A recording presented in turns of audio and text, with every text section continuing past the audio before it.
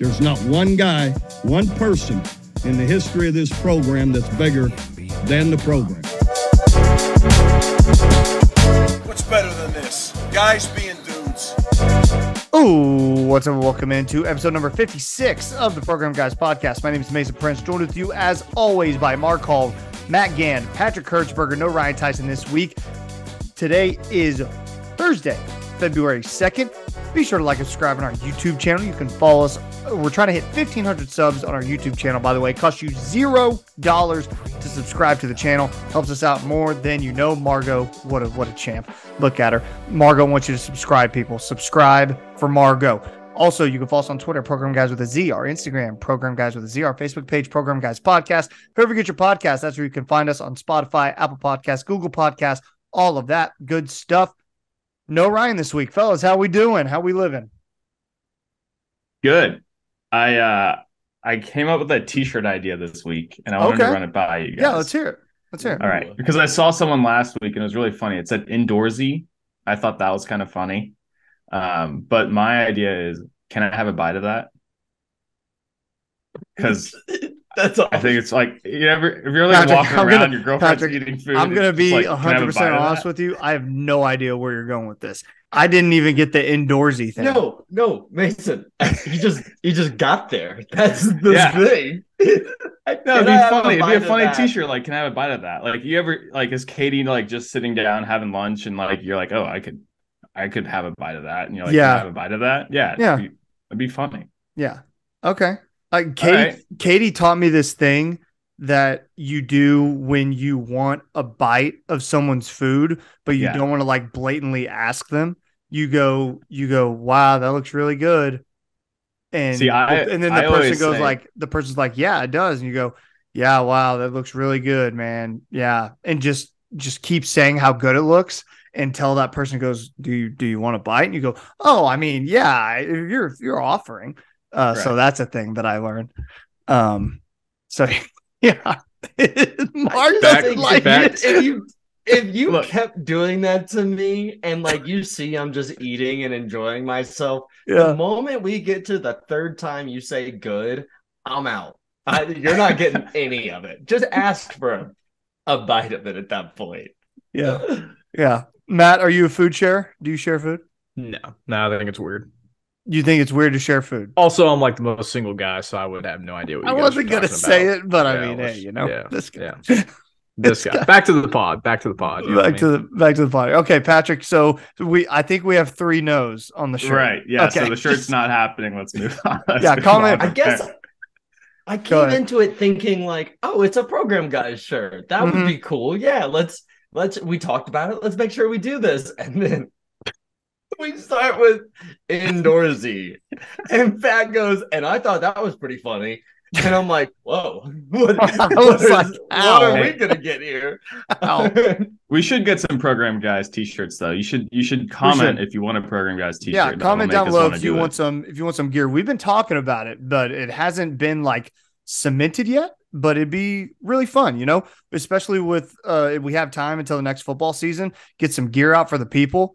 Mm. we're- all a lot of us are there at games, you know, so it'd be cool to see some as gear often as walking around campus. And and if you have ideas for stuff, uh, obviously we're crowdsourcing, so we're Yeah. gonna take it and give you a little bit of credit, but not Yeah. pay you. That's Yeah, I mean, right? It should Yeah, go without right. saying. I think it's we're we're a podcast, but um, yeah. Let us know if there's anything cool. Yeah, let us know. Okay, boys. Uh, we had an emergency pod yesterday. If you watched on our YouTube channel, uh, we talked about the breakdown of OU's 2023 schedule. In case you didn't know, the Big 12 released the schedule for all. How many teams are there now? 14? There's 14, right? 14 teams in the Big 12. And they released schedule for all 14 teams. And uh, yeah, we saw OU schedule. We talked about it, but um, if you want, you could go back to the episode yesterday. Uh, it's a quick 15 minuter, not very long at all. Knock it out real quick. Come back to us. But I thought it'd be fun. Make some predictions now for OU's 2023 record. Um, I think it'd be interesting Yeah. just uh, because I think Matt made the point, someone made the point, Matt, Pat, Mark, one of you guys. made the point that we were very high on the Sooners at this time last year, and we all saw what happened. So I think it'd be fun again to try to make some not game by game picks, but give us an overall record for the regular season, and then we'll we'll kind of discuss from there. So Matt, Sure. we'll start with you. What what do you got? Yeah, I was looking over it before the pod, and you know, last year, uh, all I can think about is when Mark last year was just going down the schedule. He's like, "Man, I just don't see any losses here." Big Twelve title, and we were all thinking the same thing, especially after the first three Yeah. games Yes. and playing good against Nebraska. So we learned our lesson very quickly, but. Looking at the schedule, it is more favorable this year. I think with the home games and the away games. If I'm going to be realistic, it's still the second year of BB. He's finally getting his first year of recruits and getting those guys. We got DG. At least we know what he can and can't do. We'll see how the offense, you know, is different this year under Lebby. But really, I just want to see the defense improve. If the defense can improve with the offense, I think looking at the schedule realistically, I'm thinking either 10 and 2 or 9 and 3. I think there are going to be some slips up, slip ups during the year, especially that last game, the BYU being a trap game before TCU. And I think those could be potentially back to back losses as well. So and I think Texas always gives us a hard time. So I'm thinking 10 or 10 and 2, 9 and 3 for the Sooners this season is kind of where I'm shooting for. Definitely high expectations. So let's give you an over That's- under nine and a half wins. Let's give you an We'll over under that. nine and a half. I So like that. um, all right, Pat, what do you what are you thinking?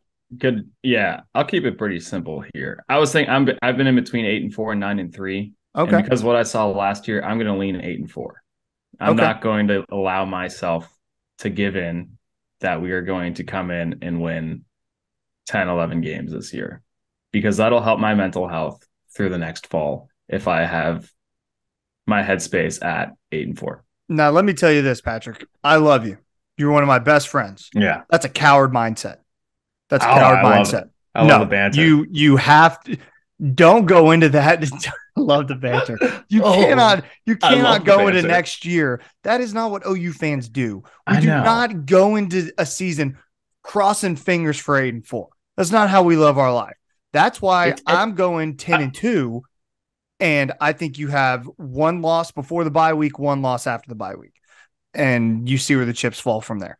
That's that's what I think. I was at dinner last night with my family for my fiance's birthday, and my uncle, who works for the Tulsa World, was talking to me about Katie. OU.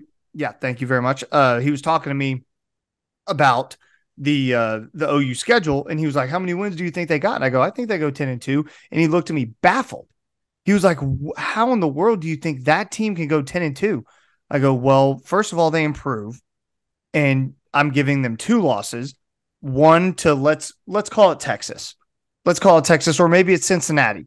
One of those games. That's before the. And then after the bye, you have a tough game at Oklahoma State or a tough game at BYU. I don't think TCU is going to be any good. So you lose one of those two games.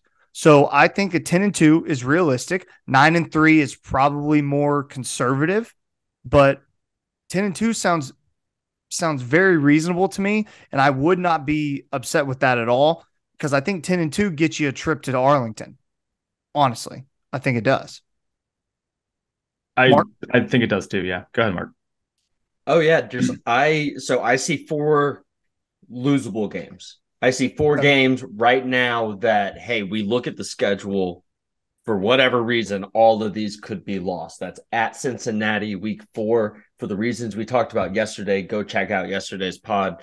Texas obviously because look, they're losing a lot, but Texas always has a lot of talent in the wings. Their problem is always development. Let's see what they're doing behind Bijan Robinson, Roschon Johnson, and who ends up playing quarterback, right? There's a lot going on turnover wise in that offense. And then the last two games of the year going to Provo, Utah. That is a different kind of cold in November than Mhm. Oklahoma's cold is.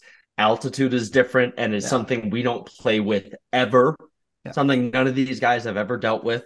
And TCU at home. I, I think that you're right, Mason, but that was a team that was in the college football playoff final a Mhm. week ago, two weeks Yeah. ago. You know, Yeah. credit where it's due until I see them differently. I'm also going to go 10 and 2. I think likeliest situation is we go two and two out of those four games. In a perfect world, three and one, and we're looking at kind of a dominant season once again for the Oklahoma Sooners. Yeah.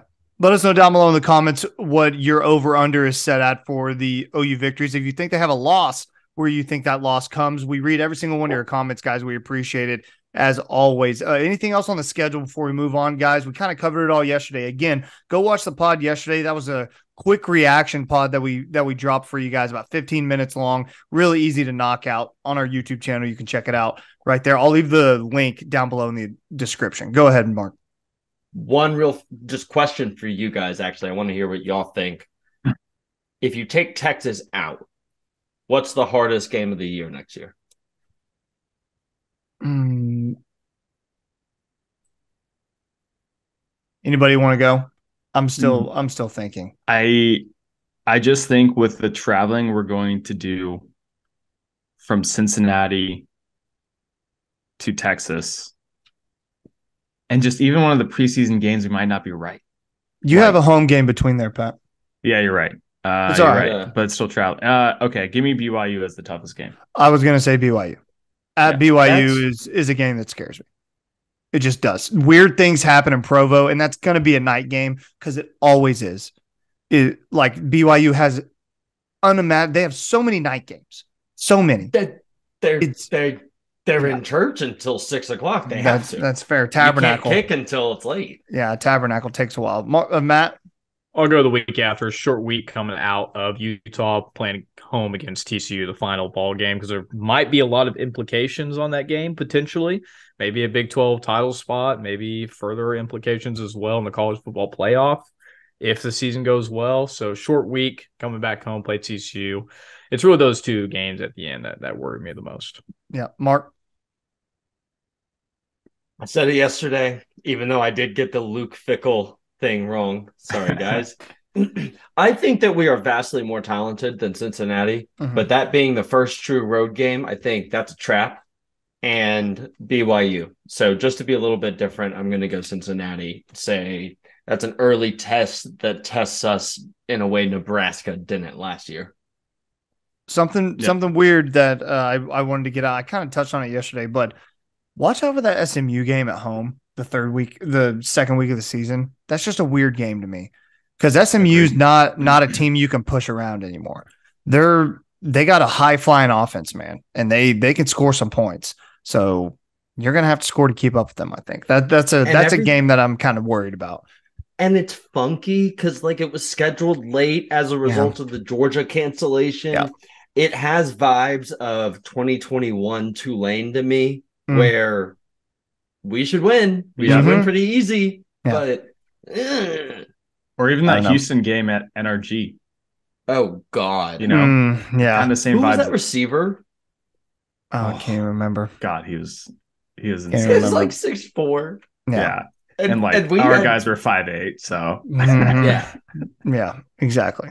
All right, let us know down below in the comments your answer to Mark's question. Mark had a had a good question for the people. So, in case you didn't know, it was National Signing Day on Wednesday, February 1st. OU didn't make a lot of noise. They signed one guy, Taylor Heim, out of Bethany, Oklahoma.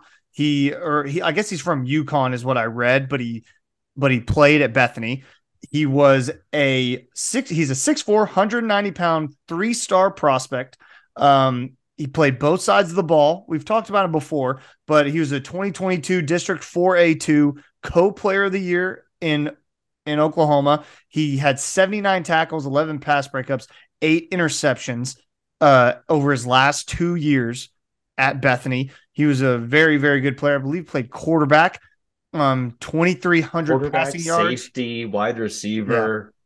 Yeah, 2,300 pass yards, 26 touchdowns, rushed for over 1,400 yards and 16 touchdowns. He also caught 20 passes for 287 yards and four scores. So he's a There- stud. He's good. Go ahead, Pat.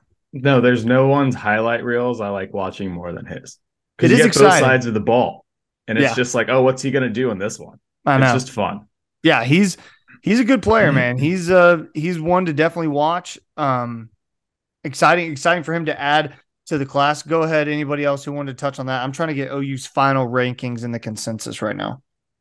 Well, and I want to get the whole list of PWO guys, but to speak Yeah. on Taylor a little Yeah. bit more, man, you watch his highlights. He runs so smoothly, and like he gets hit and somehow just sort of kind of pushes him off of him in in every single one of them. And then he plays defense, and he's just he's so long that let's say he's blitzing. There's one uh, in in my mind very immediately that like the quarterback is running to the right to try and score. They're like in the red zone, and Taylor just gets through the line. Yeah. And because he's long enough, he's behind him, but he's able to reach out and get him. There's some speculation about where he actually ends up playing ball because you're 6'5, 190 with a Yeah. frame like Taylor Heim's. You could be a receiver, you could be a tight end, you could be a defensive end, you could be an outside linebacker, you could be a cheetah. There's a lot of things they can do with him. And I think one of the most now fun and interesting storylines with the 2023 class is where do they start him out and where does he finish his career? Because there's a big old mold of clay there to play with. Yeah, definitely has the has the frame to, like you said, play multiple different positions. Um, real quick, the two four seven consensus rankings. Here's where they stand right now: number one, Alabama; number two, Georgia; number three, Texas; number four, Oklahoma. So OU has the fourth ranked class in the consensus 247 rankings. They are ahead of Ohio State, LSU, Miami, Oregon, Tennessee, Notre Dame, Clemson, USC, some other big name schools that they're ahead of. So really good for Brent Venables' second year at the helm, his first real recruiting class. You could say number four is a fantastic start. We're I want to get to the preferred walk on guys, but that's just the rankings are based off of the guys who signed and our scholarship players. So I wanted to get that out of the way before we talked about those preferred walk ons. So you guys, I if I were to tell Number you four. yeah, if I were to tell you they're they finished number four in 2023, what would you what would you have said, Matt? I wouldn't have believed you, especially Yeah. after the year that we had. I Again, agree. just it just tells agree. you all about what this coaching staff, even through the adversity of what they had to deal with this year, the players are not just bought in to a program they're obviously not a part of right now, but can potentially make some big impacts coming to the team this year. So I think it tells a lot to what this coaching staff has done over the past year. Patrick? Yeah, I wouldn't have believed you either. Uh, I'm super, super stoked about what they've been able to do. I think maybe I would have believed you, like you know, last spring game. I would have been like, Yeah. yeah, you know, we've got this, we got a lot of momentum here. But then after the season, no way, you know. But it, No. it, it's been awesome to see, especially, and then we'll hit on it. But all these PWOs coming in are Mhm. super exciting. If you would have told me after the Texas game that hey, if you can just hold on because you'll have Yeah. the number four class at the end of this, I'll I would say there's zero shot. I, I would say there's no way. After after what that team showed, like, how would anyone want to buy in into this? And like Matt said, that's credit to this coaching staff, man. Those guys recruited their butts off all year long, and it paid off. This this class is great. They they are. They're great on paper. It's going to be important to see how this develops because, like Mark alluded to earlier, Texas has talent every single year, and they can never develop it. And we know how important developing talent is because they do it at Alabama, they do it at Georgia, and those are the two best teams in the country every single year. Go ahead, Mark.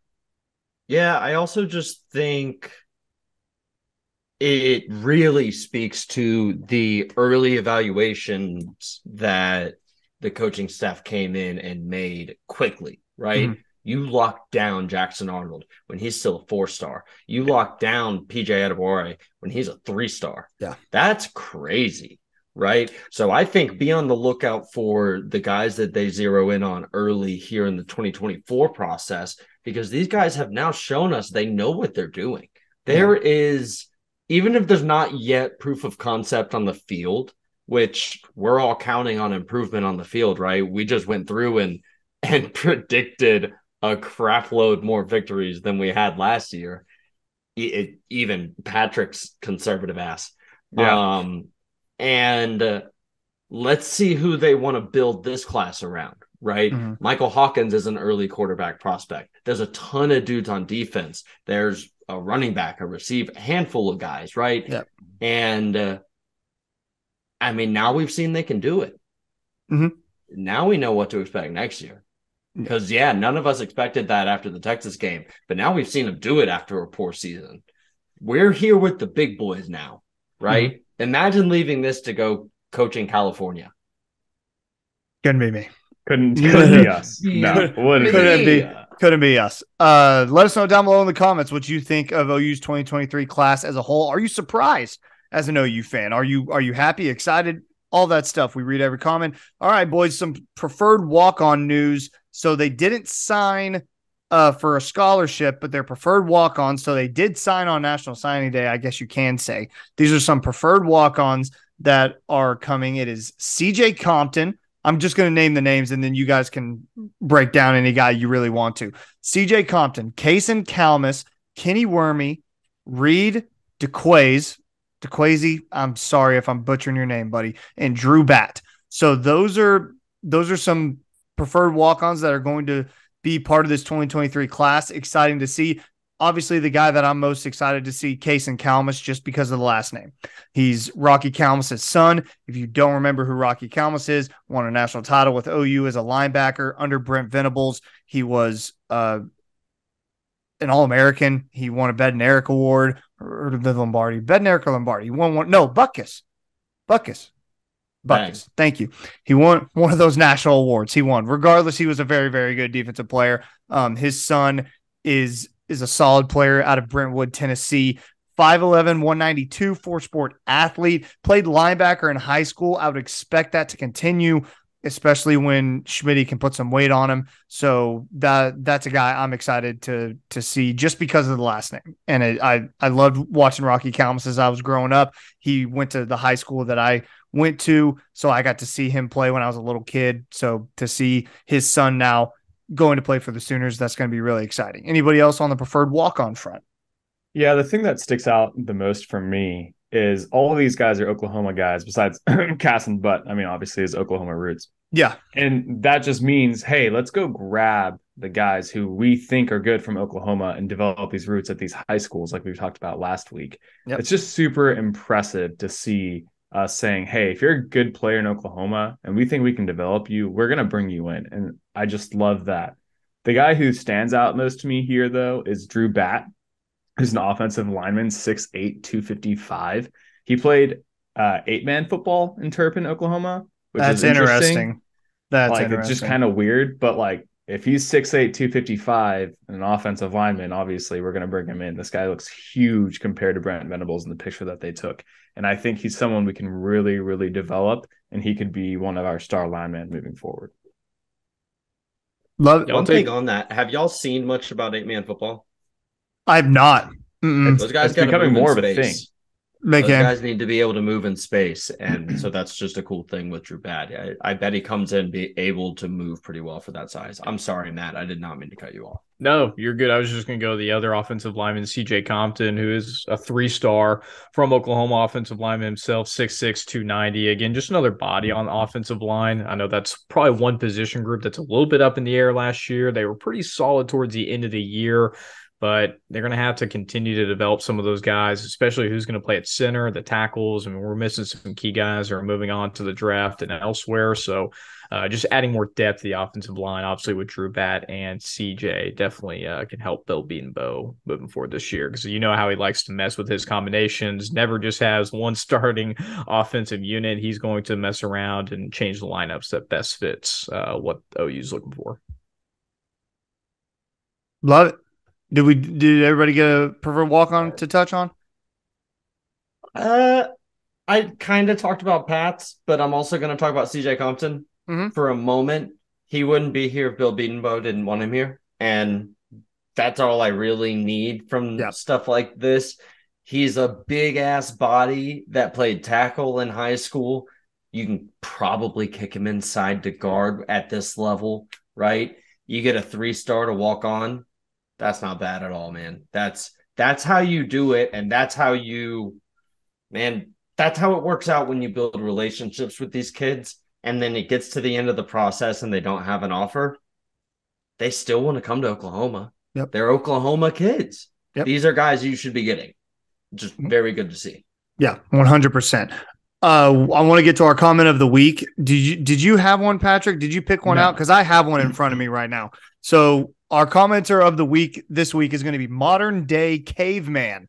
Modern day caveman hit us with a few really good points. Want to read his comment? You guys, guys with a Z. Shout out to modern Nice. day caveman. You guys with a Z that. keep forgetting Gavin Freeman as a breakout wide receiver. Also, we're not light at linebacker. We're pretty deep. The problem is BV wants to not play freshmen and have guys sit on the bench because he feels they're not ready. He needs to realize some players are good to go straight out of high school. If that was true, we never would have known how good Caleb Williams was. As far as Lebby, Teddy Lehman said it perfect. He thinks Saban only wants to go after Lebby because he doesn't want a high powered Oklahoma offense coming to the SEC next season. So why not cut the head off of the snake before it can strike? Thank you so much, Modern Day Caveman, for a very in depth comment. A lot of points you hit on right there.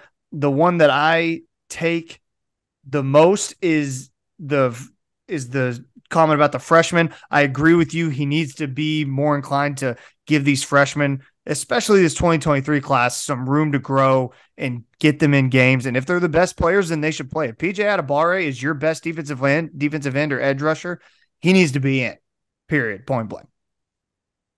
So I think my thing there is like we saw freshmen play last year. Our Mason Thomas played, Jaren Kanak played, Gentry Williams played, Jaden Rowe played, Jaden Barnes or uh uh Jovantae Barnes played.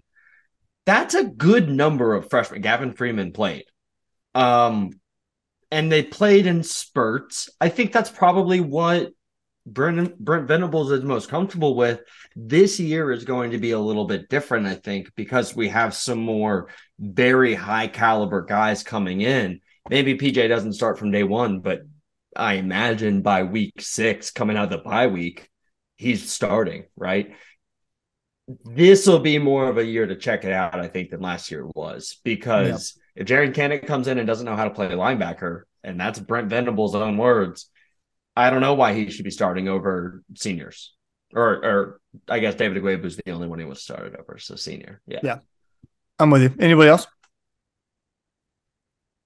Yeah, the comment about Lebby, I mean, it makes sense, but if you're Nick Saban, you can literally have any offensive coordinator at any point, anywhere in the country. It's funny how, yeah. I'm sure Jeff ahead. Lebby's up there in like a top three, top four, but I'm sure he's not really worried about Oklahoma, Texas. I mean, Alabama's going to be prepared each and every single week. They have what the most five stars in their class come in, six Yeah. or more, I think, this year. No, they have nine five So, stars.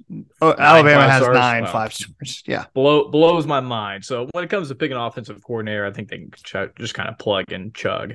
When it comes to that, I don't think they necessarily need Lebby, but Yeah. Isn't it funny? They they didn't get the Washington guy either. Yeah, he rejected them.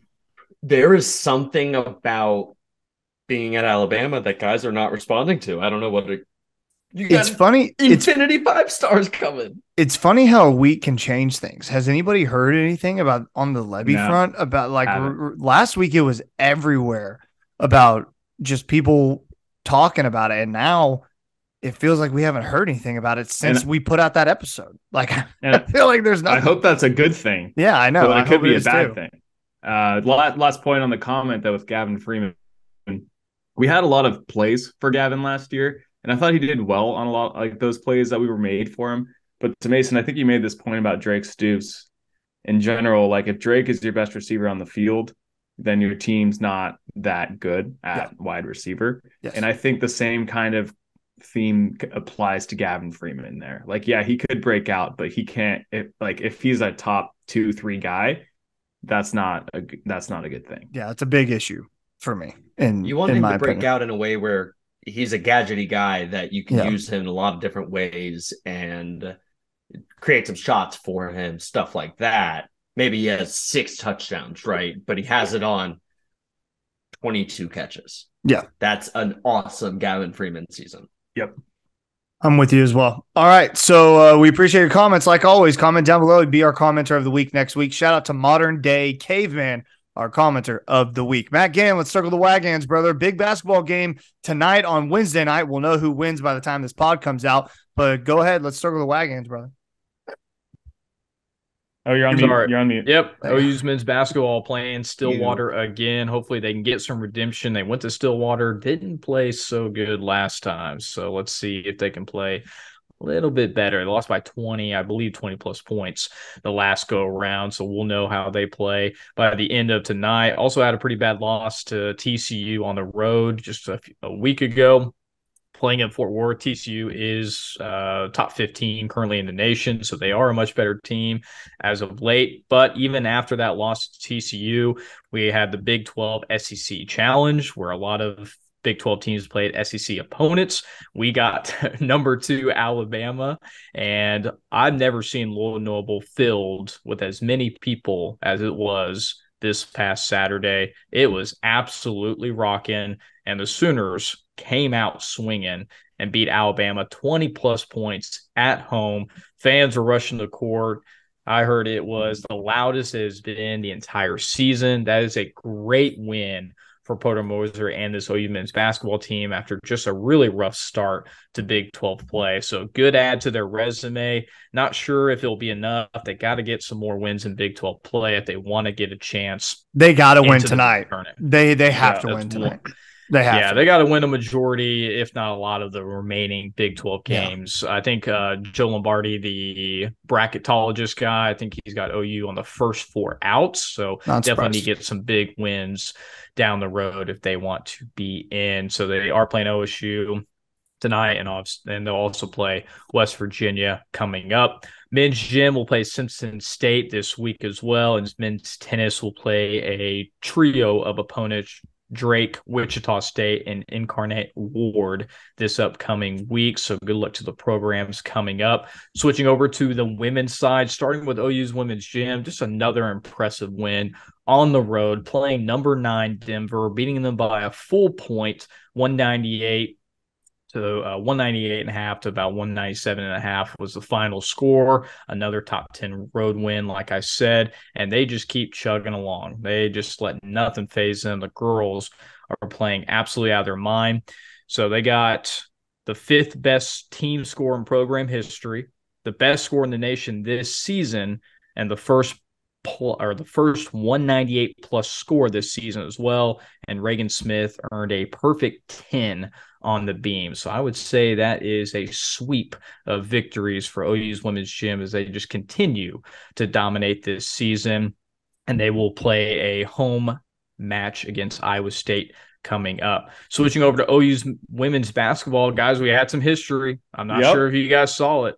It. Taylor Ro- Robertson is now the all-time women's leader in three-point field goals made. She has made over 498 three pointers. Guys, that that's crazy. That's a lot of threes. If you if you haven't counted, if you can do some quick math in your head, that's a lot of points. So congratulations to her. I actually did see a video that she got a special shout out from her idol, Stephen Curry. Sent her a little shout out video for breaking all time women's record. You'd like to see how athletes interact, even down to the college sports. I know that was big for her seeing that, and hopefully she continues to obviously put that record maybe out of reach uh, is really an incredible feat. They did fell or fall to Iowa State, who was a ranked opponent, 86-78. It was a close match until the end, but then they came a, came back a couple nights later, beat TCU 101 to 78. So good bounce back as again the Big 12 is just a gauntlet on both sides for women and men's. So they just got to continue chugging along. They will play West Virginia as well coming up for the women. And for tennis, coming back a little bit, beating Texas Tech, beating Minnesota in the Indoor Tennis Association Invitational. So that is a tournament that they are currently in. They advanced to the indoor championship. They will play NC State for the title this week. So that would be a good bounce back for them, especially after a couple disappointing losses to two Big Ten opponents in Michigan and Ohio State. So good bounce back for them as they continue their season. So really great news from really all the programs, especially men's basketball. Hopefully they can all continue their success. That is Circle the Wagons. Love it. Thank you so much, Matthew. Appreciate you as always. Yeah, go ahead, Mark. Steph Curry actually met Taylor Robertson too. Yeah, um, yeah they met at the Thunder game, right? Yeah, yeah, they, yeah, yeah. That's at cool. the Thunder game. Uh, yeah, I mean, Steph Curry wants to meet his idol. I think is what that really came. Yeah, I think that's, that's what, what it, it tells us. You know. who who came further? Who made the further travel to Mhm. go to that Right. meeting? Right. Yeah. He comes from California. She goes from Norman. Yeah, exactly. It's like Josh- it's like when the it's like when the championship teams go to the White House. Like the president doesn't go to them; they Right. they go to the president. You know, they right. they Bang. meet them. So Exactly. shout out shout out to Taylor. That that's really awesome. I love watching that that women's basketball team play. Man, they're fun to watch. They're Jennie Baranczyk has that program rolling, and they're they're fun to watch. I I enjoy that. Let's move on to some NFL talk, boys. Before we get to the NFL playoff standings, we can recap a little bit of the AFC and NFC championship. But the biggest news in the NFL world today: Tom Brady, the goat, says he's officially for good, quote unquote, for good, retired. Hey, whatever you got to say to make Gisele come back, man. Dude, Yeah. for real, I I texted the guys this today. They're getting back together in the next year. I can promise. His Instagram post had freaking three photos of her in there. Oh wow. Yeah, I did not see that. That's yes. you've lost. Yeah, I mean, it wasn't just him and her, but it was like Yeah. their family, the group family photo with Gisele in there, and then there was another one of like when he was like younger. And yeah, dude, they're yeah, he's down bad. He's down Bro, bad. Did y'all? Did ain't y'all made see for the streets. Comment? Nah. Did y'all see the comment she left? no, she left She left a comment? comment. Oh my god, what'd she say? Oh, dude, she said, "Wishing you all the best in this Oh. next chapter of your Oh. life." Oh, she's done, dude. She's Yeah. done. Yeah, done, she's dude. done. She's done. Wow. You man, you you do this whole fake pretend football season, right? Because you're Yeah. broke because you invested it all in crypto and you lost your wife from it and you need the cash, right? You're Tom Brady and you can't be broke. You can't be bankrupt. You're Tom No. Brady. So you play one more year and uh, to do it, you lose your wife and you think it's going to be all good. You're Tom Brady. And you get to the end of this season and you look up and no one really needs you, right? Like Miami says, no, we're sticking with Tua. And the Raiders are like, eh. And the Niners are like, no, we've got these children and you don't have a job to go to. So you retire and you think, okay, I'll put all these pictures in here. I'm done messing around with 20 year olds. I'm going to go get my family back. Wishing you all the best in this next chapter in your life. Oh Oh, boy. fall from grace. And that's that's tough. Let, us just give credit. He is the absolute goat. There is no doubt Yeah. about it. He is the greatest to ever play the game. I don't think anyone. I mean, he's got That's every he's got every statistical passing offensive category, passing touchdowns, wins, you Yeah. name it. He's got it, and a lot of those maybe never ever be broken. I think one that really stands out to me and fun trivia, match trivia. Tom Brady has 35 career playoff wins. Does anyone know who's next and how many? Mm, Probably Patrick Mahomes and Jeez, man. No, Patrick Mahomes hasn't even been in the league that long. no, I'd give you. Matt, you're I, awesome. I mean, Joe. I mean, Yeah. Joe Mon Joe Montana's probably got to be the next closest. It's got to be. That's right. That Yeah. is that is correct. He's got Nice. 16. Yeah, 16. sixteen. yeah. That is 19 games in between. I think that record might hold for the longest. It, it might it might not even be in our lifetime that we ever see that record broken. Look, I love- playoff wins. I love That's Patrick crazy. Mahomes. Patrick Mahomes ain't touching that record. He he ain't gonna win that many games. He ain't Yeah, gonna play think- long enough. He That's won't what I'm play long enough. You, you got to play until your 40s. You got to play on a team that's as dominant as that decade of Yes. Patriots teams. I mean, that's that's something we might not ever see again. yeah. Hold on, guys. We'll see. I All mean, right, he's in- he's in done Patrick- the first. He's done the last four years. Like he's there. But just think how many he's games on track. I understand, but he. The reason I said him in the first place is because the amount of touchdowns he's thrown in playoff games is almost like it's the second ever. So he's like five or six behind Brady. He's not that far off already, which is crazy. Like, He will beat he will beat Tom's records in some areas. That Some feels areas for already. sure, right? So, like, uh, the in five years of starting, the least far Patrick Mahomes has gone is the AFC Championship game. Yeah. Exactly. So maybe we give a little bit of credit to the fact that just having Patrick Mahomes is a ticket to the championship game. Mhm. And uh, if he plays long enough, he's going to get to that point, I think. I think he's going to get there. Um, Yeah, but a- it becomes a health thing. And because you can't hit quarterbacks. Yeah. I mean, the thing is, like, I think to catch Brady, he's going to have to play 12 more years. Does he have 12 more? I don't know if he does. If he wants it, right? Maybe he just doesn't want to. Pat, but Quarterbacks but- play forever. Yeah, you're right. But Pat relies so much on his mobility and his legs and to get him out of the pocket and rolling out and stuff like that. And that's just something that wasn't Tom's game ever. Just ever. Yeah. And that's why he was able to last so long. And that's what scares me about Patrick is just, I, I don't know. I mean, don't get me wrong. Pat- Does I think he it's become unquestion- the new Ben Roethlisberger? You can't just be, you can't you know Oh, no, discount Matt. it. we Right? Matt. I don't know. What's I more just- likely? We get Matt back or Patrick Mahomes breaks this record? I- it's hard to know. That's a toss up. It is hard to know. So another just while we're killing time waiting for Hugh to get back, uh Tom Brady has more wins against the spread, so like covering the spread than the Jaguars or the Texans have wins as franchises. that's crazy. That's it's crazy. and It it's doesn't not surprise like me, I mean it's crazy. like the Texans came out around the same time, right? So Mhm. it made sense. That's true. The Jags have been a thing Yeah. since the early 90s. Yeah. That's tough, man. yeah, it's, yeah, I think the Jags were 95. I think they were 95 or something. Yeah, mid 90s. Yeah. I don't know the year, but I neither do I. I mean, I know they're 90s for sure. I saw a highlight the other day of the Jaguars like inaugural game and they like lost or something like that. Um, but jerseys were rad though. they were they were rad. They were sick. Um, welcome back, Hugh. So Tom Brady retired. Mona San, he ruined my he ruined my football life for like 18 years. So I'm I'm pretty much done. Like, please leave. I I can't take it anymore.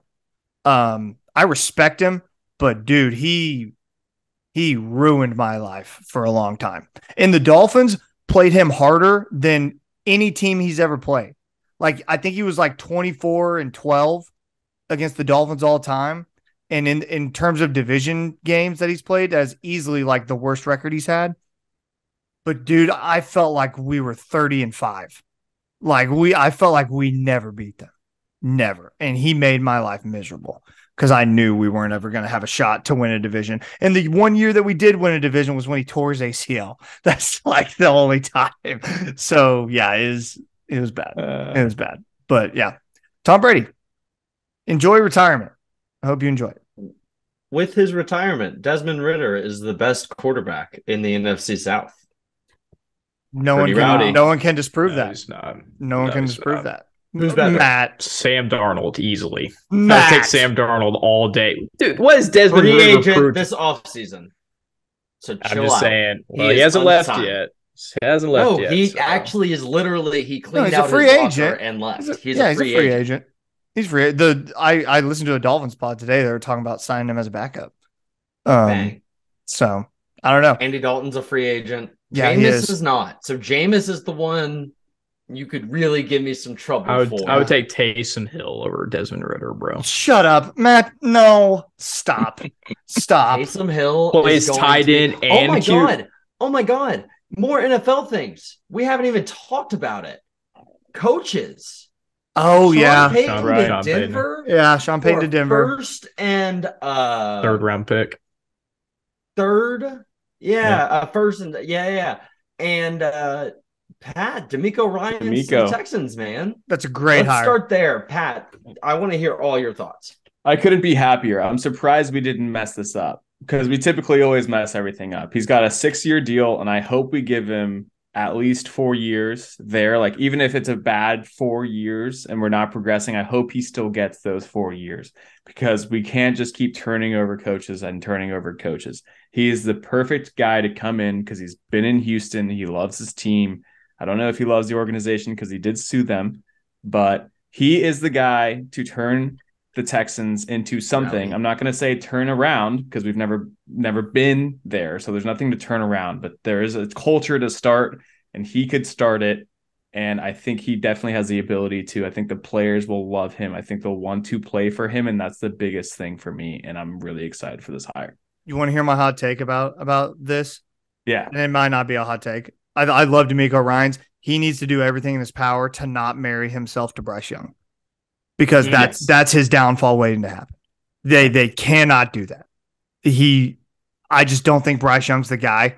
And if you go out there and you draft him in his first draft, and you are automatically tied to that guy, like he's going to, they're going, they're saying he's the face of the franchise. That's the end of DeMeco Ryans head coaching career in Houston. As soon as they do that, in my opinion. I think if the Texans draft a quarterback, it's CJ Stroud.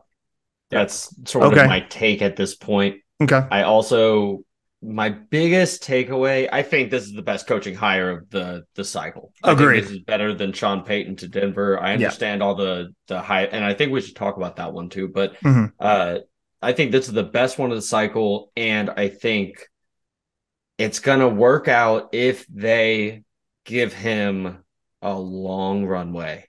Yes. There are reports that Nick Caserio has been in the headset talking to his head coaches during games the last two seasons. And Lovie Smith and David Culley deal with that. I certainly hope that DeMeco Ryans comes into that locker room with a gravitas and a bit of, hey, I'm actually a Texan. You've been Yeah. here a few years. Good for you. I built this thing. And Cal McNair over there knows I built this thing. So you're the one on the chopping block, not me. Get the shit out of my headset. Yeah. Hopefully, right? agreed.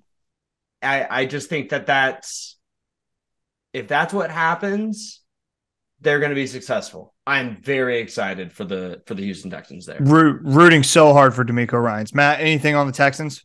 I think the Texans are in a good spot because they have the most draft capital, a lot of first round picks over the next few years. So even if they don't work out with whatever quarterback they choose, they got a lot of ammunition for DeMeco Ryans to draft the guys that he wants. So it should be a pretty good setup for him.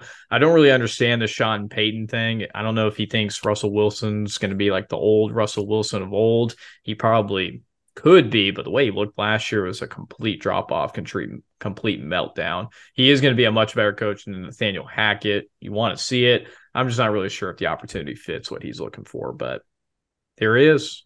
I'm Give curious. capital for him. I'm curious to see what the Broncos look like because, man, they were a dumpster fire before Peyton Manning, and then they got Peyton Manning, and you know they they went on their runs, and then uh, since Peyton left, they're just another dumpster fire. I just I don't know what they got to do to fix it. I have a hard time believing Sean Payton's the guy to fix it. I don't know. I'm just Yeah, I think they completely they, they continue to suck. What? I mean, he had what? He had one Super Bowl appearance 15, 17 years ago.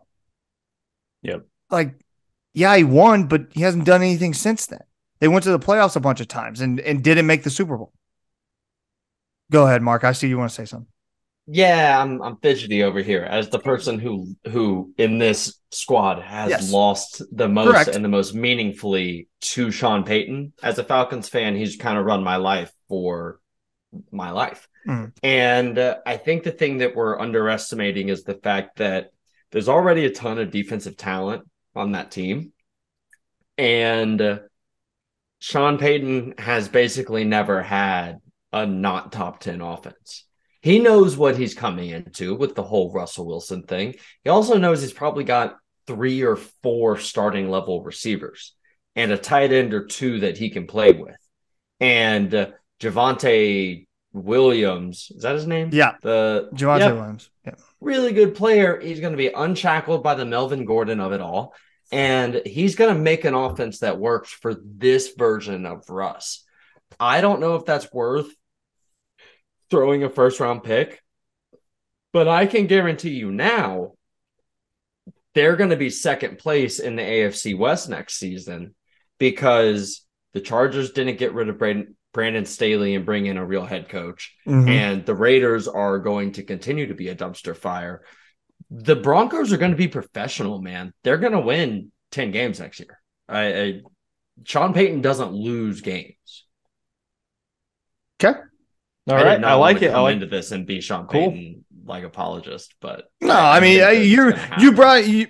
I mean you brought all good points to the table. I I get it. I just and yeah, he has a he has a solid resume of 10, 11 win seasons, 12 win seasons with the Saints a lot of the time. I'm just saying when it comes to nut cutting time, he's he's had one one real season where you can look at and be like, yeah, that's it in a 17 year career. I mean, people I feel like people are trying to make this guy out to be to be like the heir apparent. Oh, he he hasn't figured out like Belichick does. I'm like, no, no, you don't. No, you don't. got a better resume than Andy Reid did pre Kansas City. Okay. I'll give you that. There's just, you know, I'll give you just things you can look at. That's all. Yeah. That's all. I I think it's a good hire. It's not a Yeah. DeMeco Ryans hire, and the owners actually agree, but Hmm? because they Uh, wanted DeMeco. Yeah. Uh, all right, boys. So here's where we stand in our NFL pick'em. In case you're wondering, I'm in the lead at seven and five, six and zero for those of you keeping score back home in the last two weeks. Massive, Flex. massive Flex on flex. me. Flex yeah, on go me. ahead. Mark and Patrick tied at six and six. Ryan at five and seven. Matt Gann at three and nine. Matt. yeah. Any uh any words?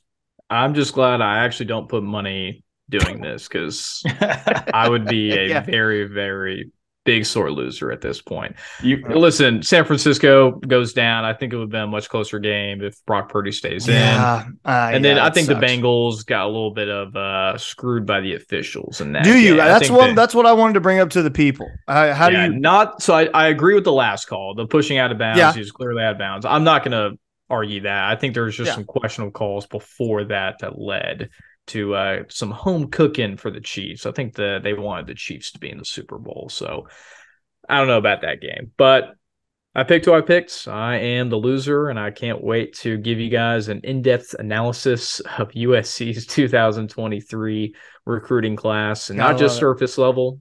I'm gonna Yeah. get in there nice and deep like. So I'll have that. that. I'll give that. that. for you guys either when you get if you guys want next week or after the Super Bowl, whenever it is. Sounds So. good. Yeah. Gan, uh, I do I do want to so note excited. that Gan also wanted to change one of his picks to Dallas, so he would be te- two and ten if we let him. whew, Just Whew. a bad look. man. That's, yeah, and that's also tough. the Cincy game went from plus two and a half to two Kansas City. I mean, it was a four point swing. I don't think it would have mattered. I mean, we were all there. We all experienced Yeah. that. yeah. Um, I don't, there might have been some home cooking, but overall, the Bengals just didn't do what they had to do to win that game, and Yeah. that's as easy as that. Like Mahomes wasn't hundred percent, and that was you could see that. So, in my opinion, I think the Bengals. Just Yeah, but have come on. What I'm- about the play where they they stopped the clock because it was running and they gave him an extra third down and then they call a holding call? I mean, come on, man. This- That's Yeah. not home cooking. I don't know who else is paying the refs, is. but ridiculous. that was tough. But I mean, yes, you're right. They did do that, but the Bengals ended up stopping them on that drive. So that drive essentially amounted to nothing. All the all the like all the advantages, I guess you can say that they got from the referees ended up being for naught because they had to punt the ball away because they couldn't move the ball. So yeah, I guess they got the opportunities, but they didn't do anything with it. The Bengals had no reason to not go in and win that game and just take that game. That should have been a Joe Mixon game. Mhm. That should have been a Right. Run the damn ball game. Yeah. And keep Patrick Mahomes from getting on the field and keeping that leg warm. And I don't know what Zac Taylor was thinking. He's obviously, I mean, look, he's paid much better than me. He knows what he's doing, right? But he didn't know what he was doing with that game and was still in it late in the game. Here's my hot take. Yeah. Joseph Joseph Ossai is a UT guy. There's no love lost here, right? I think you look at it like basketball and you swallow your whistle a little bit. Obviously, he's not trying to uh, penalty level push Patrick Mahomes or anything like that. That's ridiculous that we have another classic that could possibly go to overtime in the first year with these new overtime rules where a touchdown isn't enough on that first drive and we're robbed of it because Yeah. the hit is 0.4 seconds later than it should be. That's kind of tough to me. I don't like that. I hope that to some degree we look at the timing on these things.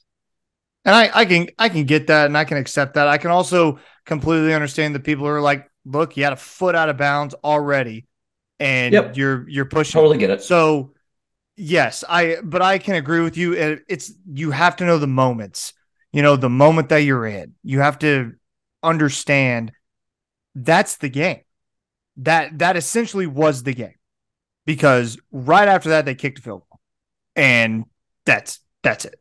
It's so Right. it's just, yeah, I know. I, it leaves a bad taste in your mouth, but I get the call. When it happened, I was like, I mean, yeah, that, that's what it is. I mean, If I'm and if I'm a Yeah. Chiefs fan yeah, and I hear me just say that, Yeah. I'm like, what are you talking about? Yeah. He hit my quarterback. Yeah. So Yeah. you know. yeah, my already get it. hobbled quarterback who is, running for the first time all night. God, Dude. he's really good, man. Yeah, he is. He's really good. it's, yeah, he's really good. Take the Um, over on rushing props. yeah. he's gonna run if he needs to. Yeah, in terms of the San Francisco Philly game, just just sucks to to see, you know, Brock Purdy go down like that. Um, I predicted that Brock would kind of come back down to earth this game. Didn't really think it involved tearing his UCL, but um, you know, I an, another case to be made for an emergency quarterback situation. The, uh, there are going there are people calling for the NFL to add another active roster spot for an emergency spot for an emergency quarterback. So adding, you know, a third or fourth quarterback, whatever it is, to your roster on a game day. So we don't have a situation like we saw on Sunday, which was Christian McCaffrey taking snaps. And who else took snaps for them? I mean, Brock kept taking them, really. Well, they had to No, but So yeah, there Brock- was some so non-quarterback Brock- also. Yeah, Brock got Brock got hurt. Then they put in Brock's backup. I can't remember his name. Jonathan, Johnson. Josh Johnson. Thank you. Josh Johnson, NFL Thank you. journeyman. Yeah. So then he got hurt. So then Chris McCaffrey took a couple snaps, snaps, and someone else did. I think Kyle Oh. Juszczyk, the fullback. I think, think- he's listed Bang. as number four quarterback or four Yeah. or So fifth know. Harvard grad. yeah, could be that. We'll we'll have more on the Super Bowl for you people next week. Um, we'll break down What do you break mean, down you our thoughts on the people? What do you mean, you people? What do you mean, you people? so I don't have an answer to that question that doesn't get me in trouble. yeah, exactly. So, uh, yeah. Anything anything else on the NFL, guys? Before we move on to our MVP segment. Go Falcons. Yeah, Okay. but it's my MVP, so I might as well just kick it Yeah, off. go ahead, Pat. Get us started. I'm going to go with Jalen Hurts. I have the hot take. Mm. We're throwing out a lot of hot takes this week, Okay. but I think Jalen Hurts will be the most successful Oklahoma quarterback in the NFL. And I know that there's a lot of people out here would disagree with that, but he could go win a Super Bowl next week. And if he just does that and plays a couple more seasons in the league, he might have already solidified himself. Yeah. Look, I mean, it's hard to root against Jalen Hurts, right? Like it's it's hard. He doesn't really give you a reason to dislike him. He's a very modest guy. Doesn't do the trash talking. He's he's just goes out there. He's about ball, and you know his entire like journeyman, how he got here. You know how can you not root for a guy like that? He took it took advantage of his second chances. Took advantage of any chance that he got to show that he deserved to be the guy out there. I I am rooting for the Chiefs just because I have family who are interested in the Chiefs winning, so I will root for the Chiefs. But I wouldn't mind seeing Jalen Hurts do very very well. Agreed. Mark, Go Eagles. Um imagine. Imagine. Anyway, uh so mine is going to be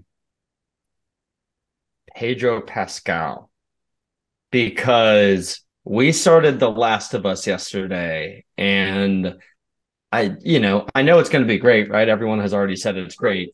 But between Sorry. I can't even hear it. Can't even hear it. Oh, oh, you guys can't hear it? No, no. Wow, these mics are great. Anyway, Yeah. they're barking a lot. Uh, between now this one, Game of Thrones, The Mandalorian, and Narcos, Narcos. he is a very prominent face in four big franchises and he owns every one of them in what he does.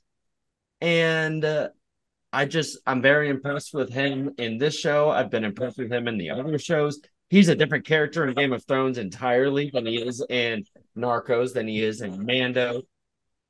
Sort of the same in Mando and, and Last of Us so far, Yeah. but Yeah. that's okay, man. That's all the rage right now is get an old jaded guy and a young clever person and bring them together. That's the whole that's the whole story you need. Pedro Pascal, MVP. He's great, man. Love it. Matt? OU football alum. And this Super Bowl, there will be five Sooners that will be in it. That is the most out of any college football team. We had nine in the AFC and NFC championships. It just shows you the pedigree of when Sooners get taken, they last long and they're very good at what they do.